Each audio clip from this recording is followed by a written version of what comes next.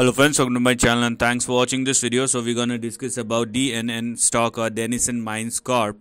Now, if you're looking at this particular stock, it is very clear that the momentum is building up and uh, the stock is retaining most of its gains with consolidation or correction. So that's a very good thing.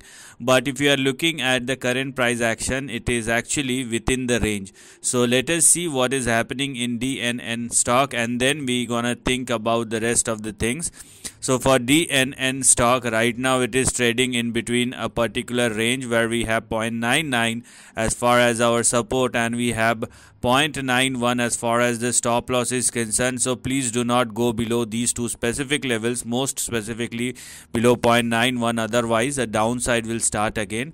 And what uh, we have on the upside if DNN continues to sustain above 0.99 is 2.16 which is your immediate target. And the stock can swing up to 3.9 or 4 dollars where you're gonna have a big target or rather big resistance. If you want to go beyond 4 dollars then we require a breakout at or above four dollars. And uh, if that happens in the upcoming months or years the stock may expand or extend up to $12 but what is active right now is this particular section that's something which is active right now. So focus around 0.91 and 0.99 on the downside and 4 dollar on the upside.